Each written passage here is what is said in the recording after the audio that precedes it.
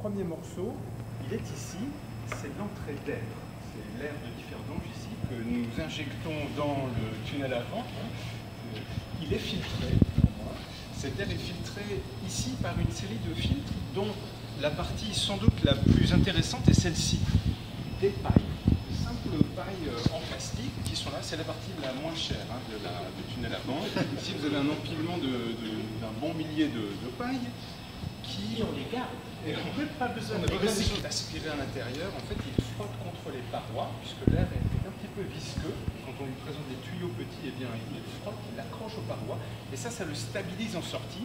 Si bien qu'ici, vous avez euh, eh bien, des, des rails d'air bien parallèles. Autrement dit, la, la première partie ici est un laminoir à air. Laminoir à air à Differdange, c'est vrai, il faut le faire. Euh, ensuite, vous avez euh, cette chambre de visualisation, la chambre d'essai, comme on l'appelle aussi euh, dans, l'industrie. On va y revenir.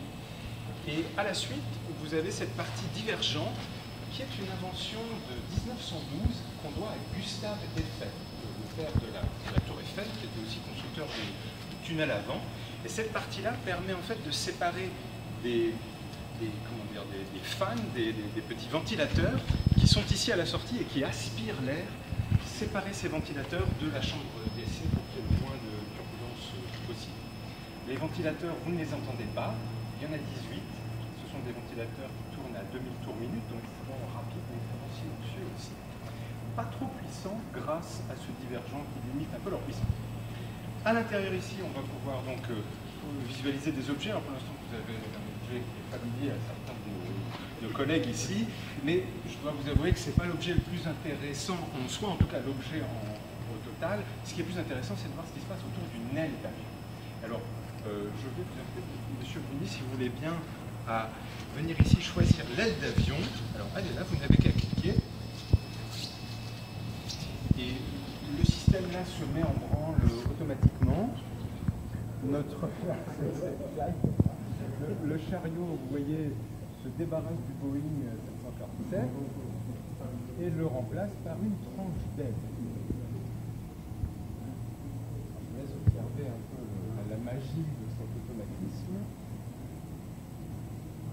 On se demande toujours si le chariot va, taper contre la couture, et il nous suffit alors d'attendre pour revoir à nouveau les filets de fumée qui euh, viennent épouser l'air.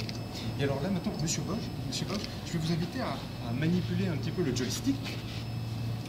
Et ainsi, vous allez pouvoir changer l'inclinaison. Alors là, l'avion a déjà décroché. Il a déjà bien travaillé chez vous. You stole the wing That's, bit. that's my new job for after the 14 of Intéressant, c'est de regarder ici donc les, les informations techniques qu'on nous donne sur, sur l'écran.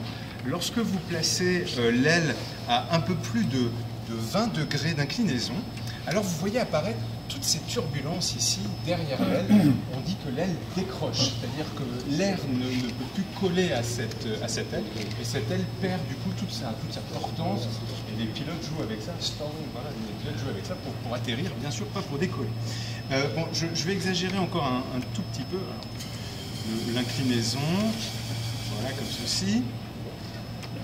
En général, on ne voit pas ça, hein, donc c'est- d'où l'intérêt de la station, hein, c'est de, de pouvoir l'observer. Donc, ce- qui est très intéressant, c'est cette transition entre, vous voyez, un flux laminaire, un flux bien tranquille, et puis derrière des turbulences. Les turbulences, c'est des tourbillons. Une, une quantité infinie là, de tourbillons qui apparaissent. Euh, il y a également des forces en jeu, des forces de pression qu'on ne voit absolument pas dans cette soufflerie silencieuse, mais qu'on veut vous faire saisir à l'aide d'une petite démonstration. Alors, Hervé, je